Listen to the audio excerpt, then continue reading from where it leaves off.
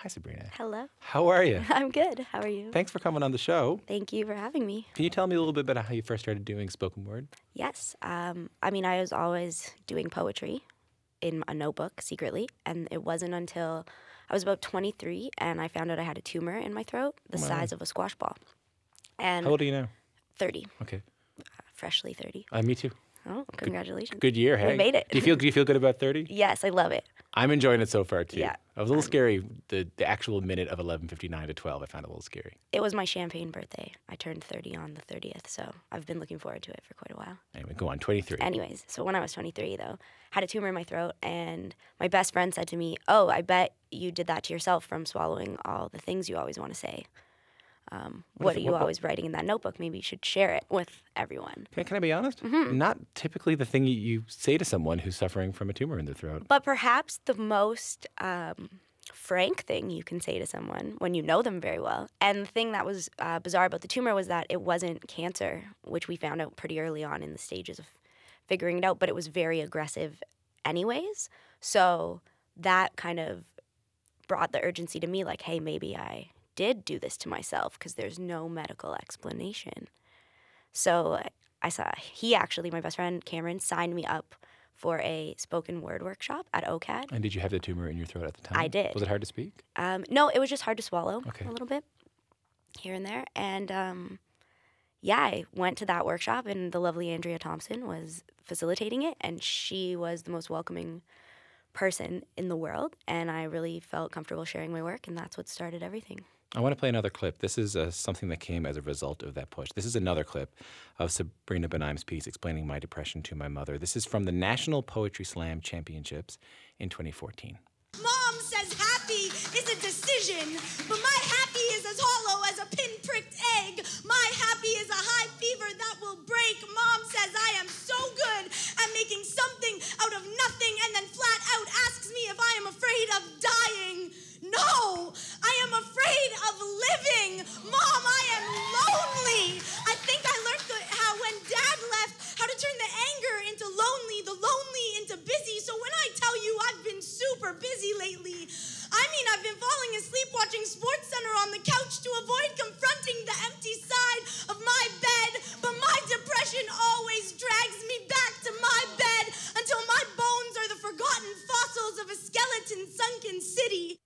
That was one of your first big performances. That's my guest, Sabrina Benaim, at the National Poetry Slam Championships in, in 2014. So that was your first year going to the National Poetry Slam. Mm-hmm. You're sharing so, not just something so personal, but something that most people don't share Right. with thousands of strangers mm-hmm. who are, can I say this, sort of awkwardly yipping and whooping. Yes. they don't really know when to do it, you know, like, and they don't know whether they should. Yeah. So you'll finish a line and you'll just hear this. Slam is interesting because the audience really gets into it. And in that particular bout, um, it was the semifinal bout. So you you've got a room filled with poets that didn't make the semifinals that are like raring for some poetry to finally cheer on somebody else because the pressure of kind of doing it yourself is gone. So, and you have four teams competing that are trying to win that bout. Um, so it's really interesting because you're nervous, but you want to impress all these people a lot because after the, the competition's over, they're like the people you're hanging out with for the rest of the week. So it was weird, and there was legends in that room. Like Andrea Gibson was in the audience. Oh, wow. Buddy Wakefield was in the audience. So yeah, I was like, if if that wasn't enough, if doing the poem and the context of the poem wasn't enough, I was in a room of people I adore. If you're naming slam poets, I know they have to be big. If Yeah, I, if, if I've right? heard of them, they, ha- Exactly. they have to be pretty big. Exactly. Uh, but if you don't mind me saying this, and I mean this with the utmost respect, you did look a little nervous. Yeah, well, I was having a panic attack. Um, that was the first time I had ever said that poem on a stage before Right. or out loud. I had only said it to my team that afternoon in the hotel, which garnered a similar reaction Yeah. to how it was. And we were like, okay, just just get through it. That was it had been 10 years since a Canadian team had made the semifinals at the Nationals. So it was already a big deal that we were just at that stage, on that stage. And then to do that poem on that stage for the first time just kind of got me. Is it is it any easier now? I mean, do you still do you still get panic attacks when you perform? No, I don't, luckily. Um, th- it is much easier now. I do that poem pretty much in any school I ever walk in. um, any stage I ever step on. I think that poem is the most important thing I can share right now. Do you, do you still feel, how do I say this sensitively? Do you still feel every word as part of your own experience? Or is it so kind of a narrative to you now that you're just able to say it? Um, I feel it. Some days I feel it more than others, Yeah. definitely. But part of what I like about it now is it's a bit of an anthem. So when I do walk in, usually people want to hear that piece and they know it. So it makes it feel like a shared experience and not so much this thing I'm harboring um, on stage anymore, which makes it easier to do because. I mean, the shock of it being I'm the only person in the world that feels this way is long gone. If you, um, I know, I, I know you've talked about this a million times, but for people on, who are listening to the show on, on the radio or on the podcast who haven't heard the story before, can you tell me a little bit of the backstory of that poem? Yeah, um, I had I had been struggling for a long time. I would say at least since high school, and in my family, there's just really no language for mental illness or mental health, or there wasn't at the time. There is now, Yeah.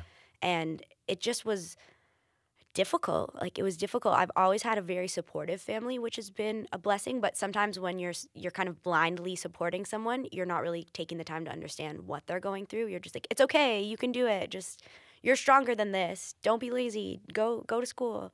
Do your best. And you kind of miss the communication of like, why is this so hard for you? What is what are you struggling with that you're finding going to school is such a difficult task? And so once this poem came out, which my mom actually heard it for the first time while it was on YouTube, um, How'd you take it? she took it. I think she was relieved. I think she understood. I think she was relieved that that got out of my body, like that peace and that understanding. Because so much of it, too, as much as the poem is about explaining it to my mother, like you have to understand it yourself to understand you have no control over this thing first. And I think that's part of the, the poem is like a mutual understanding of like, I don't, mom, you don't get it. I don't get it either.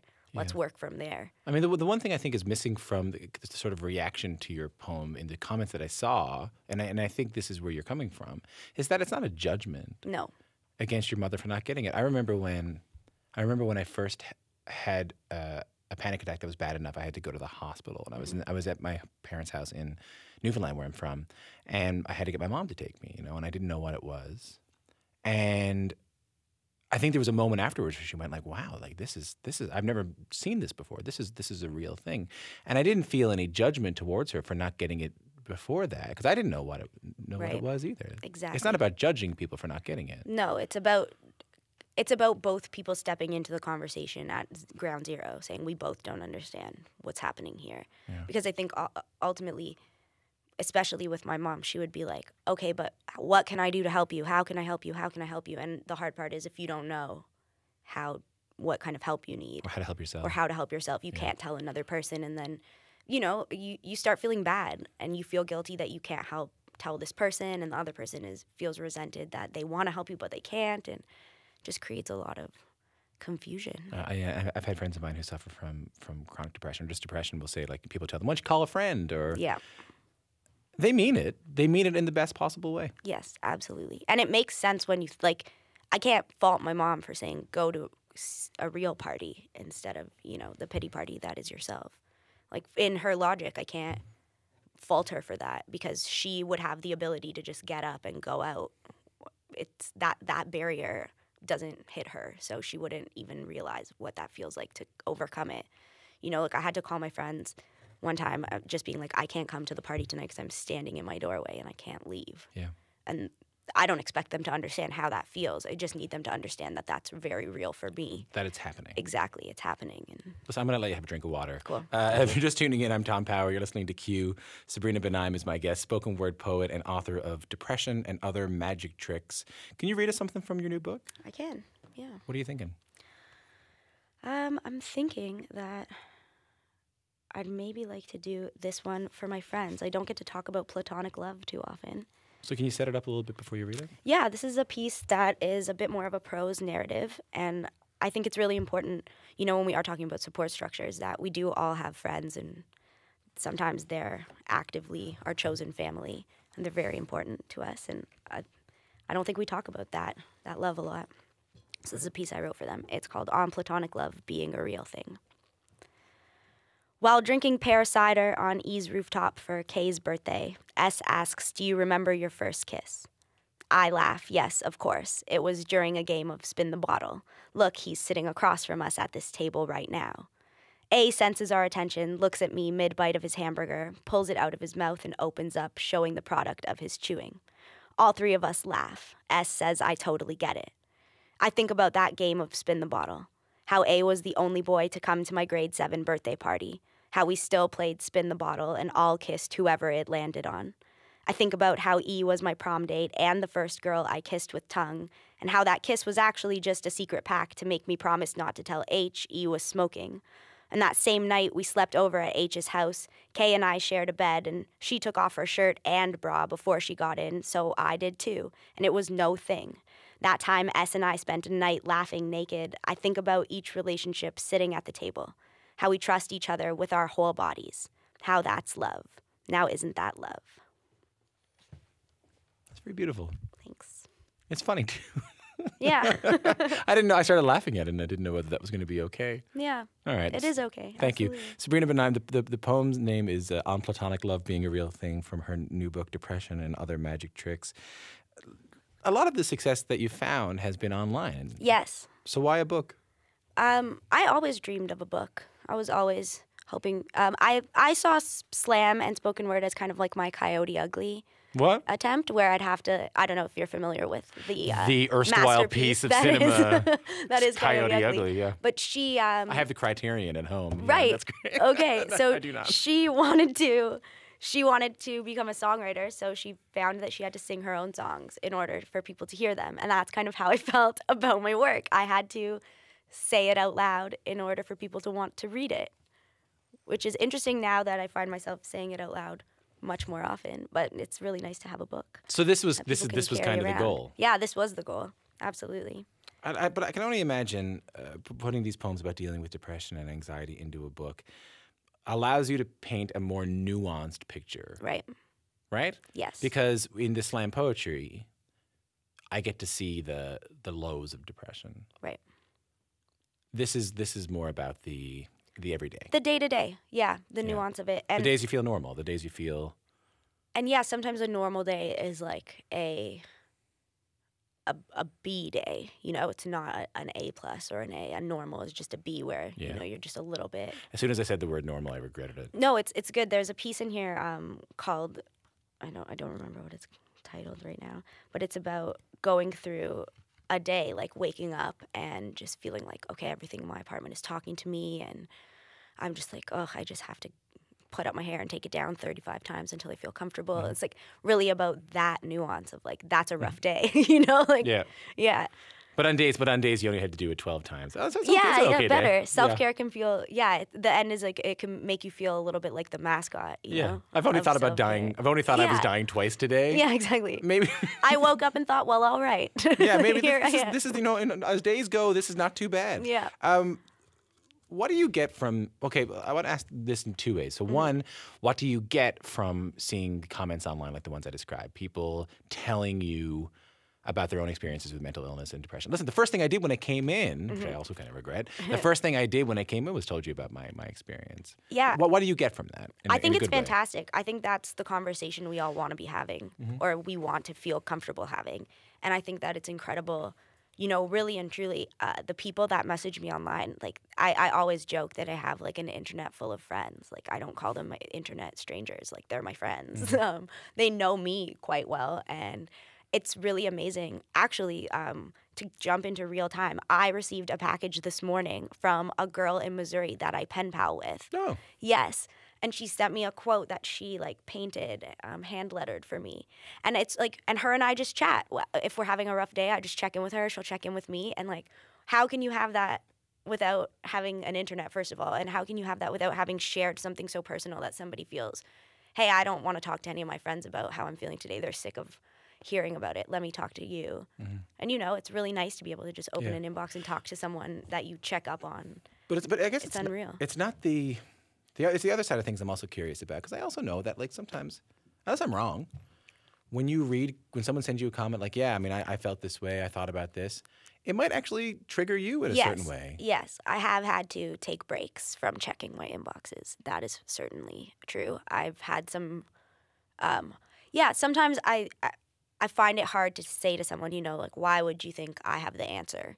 Um, because I, I clearly don't. I feel like I've I'm talking about it, and that's the most I can do to like have a quote unquote answer is to just give you my experience. But I don't know how to fix Yeah. your problem Because you're, you're talking about like the that. ellipsis, right? right. You're talking about the continuation.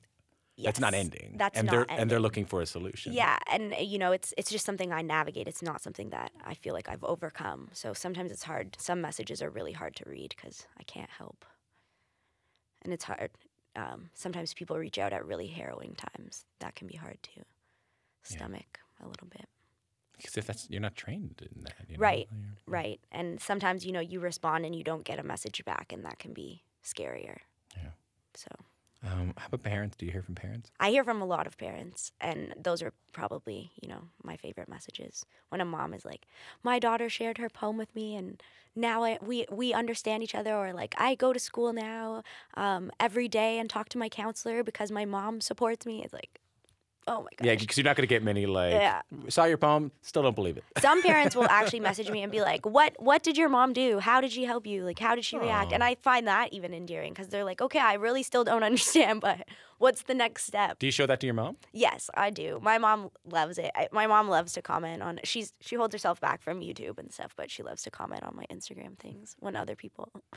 She'll be like, "Did you see the comments you got today? They're so beautiful." I'm like, yes, well, I saw them. She seems very proud of you. she is. I'm very lucky. Even my dad is pretty proud. Um, I'm gonna.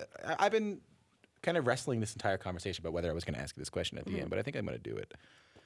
I think I'm going to do it. Okay. Okay. So, um, if people are listening to this right now who haven't seen the poem, who but who might be struggling with anxiety or depression themselves, do you have anything you want to say to them?